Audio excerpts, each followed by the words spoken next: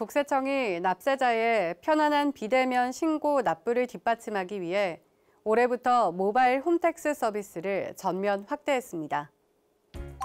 이에 따라 납세자는 국세 신고, 각종 민원 신청 등의 국세 업무를 모바일 환경에서도 PC 기반 홈택스 서비스의 80% 수준까지 이용할 수 있게 됐으며 Face ID를 비롯해 챗봇 상담, 증빙 서류 스마트폰 사진 촬영, 제출 등 다양한 서비스의 도입으로 사용자 편의성도 한층 강화됐습니다.